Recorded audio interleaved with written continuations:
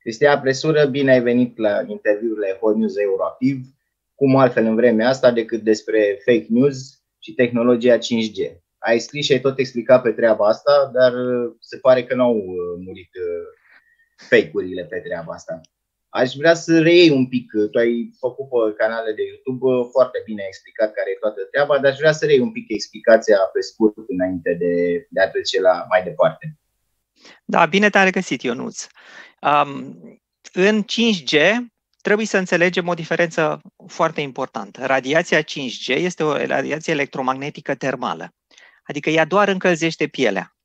Radiația 5G nu este o radiație ionizantă, adică ea nu este cancerigenă așa cum sunt cancerigene radiațiile ultraviolete sau, uh, sau radiațiile X.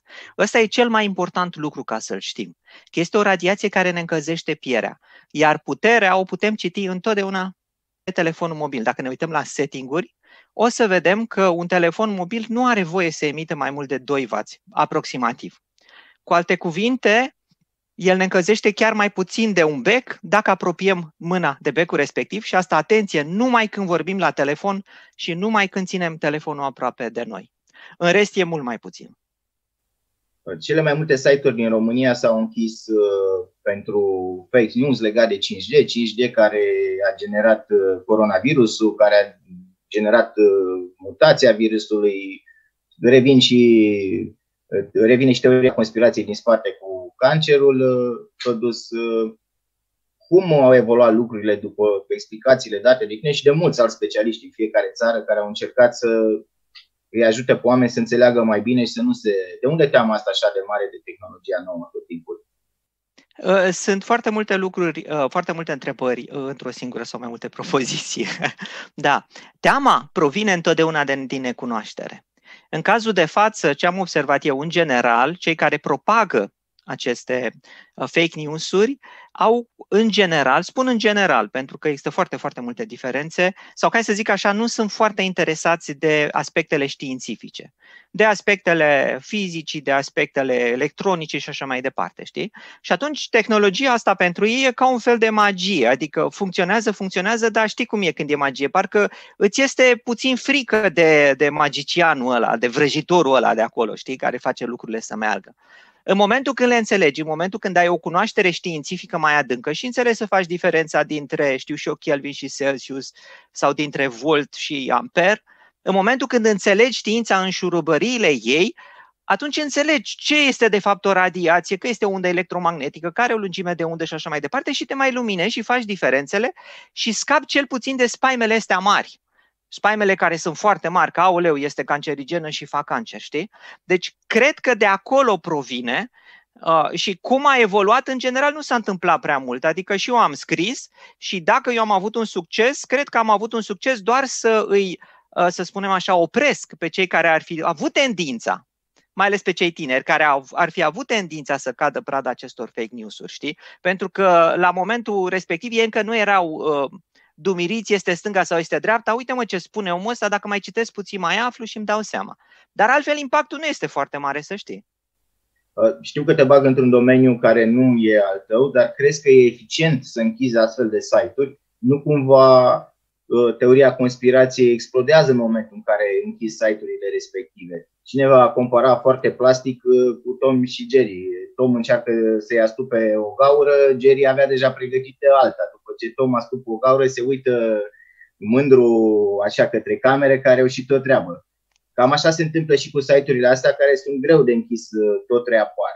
Uh, soluția alternativă propusă era uh, o investiție din partea statului în media serioasă cu astfel de clipuri, cum ai făcut tu, cum au făcut și mii, pentru explicarea fenomenului. Da, deci sunt de acord cu tine. Nu prea funcționează blocarea acestor site-uri, pentru că suntem în internet și internetul e liber și e foarte bine că e așa, pentru că de pe alte site-uri, pe de altă parte, ne luăm informația corectă. Uh, deși temporar poate să funcționeze, atenție, când este un clip viral, așa cum face Facebook-ul, când este un clip viral care are sute de mii sau milioane de vizualizări și spune chiar o prostie foarte mare și chiar ceva periculos pentru oameni, nu știu dacă ai observat, Facebook-ul dă câteodată videourile jos. Deci, pe termen scurt, are un impact pozitiv, dar pe termen lung nu. Pe termen lung, până la urmă și la coadă, Soluția este una singură, și anume educația. Și asta Asta trebuie ca să facă autoritățile și, uh, și guvernul și așa mai departe. Educația care începe din școală și care continuă după.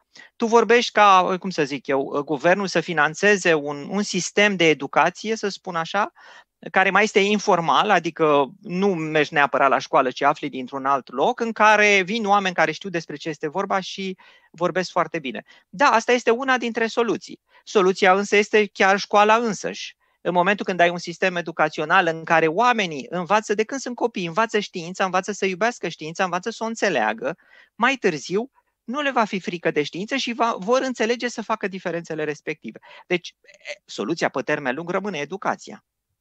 Pacientul zero al dezinformării, cum îmi place mie să-l numesc, este Dr. Paon, care a lansat uh, cartea respectivă, în care a cuprins mai multe scenarii, plecând de la electrificarea Europei până la sateliți și inclusiv tehnologia 5G de apariție.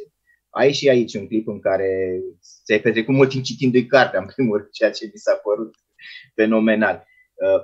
Uh, pare teoria asta cu 5G-ul pare evident apanajul unor oameni care au totuși puține informații sau o anumită cultură, că nu poate să o facă tanti Floarea de la Văscăuți să vorbească despre 5G și ce efect are. Cum vezi, care e profilul omului care răspândește astfel de, de fake news-uri? Da, deci uh, primul, prima parte a profilului este, așa cum am spus, acela care are mai puține cunoștințe științifice și care vede știința ca pe un fel de magie și care se sperie oarecum de ea. Există însă, atenție, tu ai vorbit nu de omul care, care primește fake news-ul, ci de omul care răspândește fake news-ul. Iar ăsta mai are ceva la profil. Mai are dorința aia de a ieși în evidență. Dorința aia, măi, își găsește chestia lui și asta este chestia lui. Dacă eu mă bat pentru împotriva 5G, împotriva 5G, știi, lumea vine la mine și ies în evidență și mă simt și eu băgat în seamă. Știi? Și atunci, pentru mulți dintre aceștia, devine de fapt un mod de viață, devine un cel, devine un război personal. Și ei merg în războiul ăsta neascultând argumentele, nevăzând întreaga imagine, pentru că este practic un război personal al lor. Știi, e ca atunci când te duci la război efectiv și eu trebuie să mă lupt pentru aia, mă lupt pentru aia, orice ar fi, orice ar fi, și pierzi imaginea completă a tuturor bătăliilor și de fapt de a ceea ce se întâmplă în jur. Um, avem doar noi fake news ăsta cu 5G-ul, avem doar noi teama asta de 5G românii sau ai cunoștințe că s-ar mai întâmpla? La voi în Olanda există teama de 5G? Da, da, da. da. Deci uh, la noi în Olanda, ca și în Anglia, sau uh, nu știu dacă s-au ars, dar au fost atacate niște Uh, niște antene mari de tot de 5G. Pentru că în Anglia știu că s-au ars, dar și în Olanda au fost atacate antenele respective de 5G. Deci există și în Olanda astfel de oameni. Și există o reacție a statului în Olanda? Așa cum nu există o, o reacție coercitivă la ora actuală. Deci nu se bagă nimeni în închisoare. Bine, în momentul când uh, intri pe un domeniu public, în momentul în care, să zic eu, spargi case, spargi geamuri, atunci intri, intri sub incidența legii. Dar asta nu este specific împotriva celor care sunt împotriva 5G-ului, știi? Deci uh, nu, nu sunt măsuri coercitive împotriva, să spunem, uh, a celor care luptă împotriva 5G-ului sau împotriva antivacciniștilor și așa mai departe. Deci libertatea este încă, încă păstrată. Există vreo o formă, vreo inițiativă a Ministerului Educației din partea Guvernului de a combate astfel de, de fake news-uri în Olanda? Uh, nu aș zice, n-am auzit de o inițiativă particulară. Uh, ceea ce însă remarc eu și îmi place foarte mult este că uh, există o educație mai largă cât ține cunoașterea științifică. De exemplu, pe canalele naționale de televiziune există emisiuni speciale pentru copii în care, și care sunt, apropo, foarte de succes uh, și în care îi învață știința, așa, pe, pe, cum să zic eu, pe limbajul lor. Da, deci există acest efort comun către educație, dar nu cred că pentru informare împotriva antigen nu am văzut nicio hârtiuță, nicio acțiune concretă.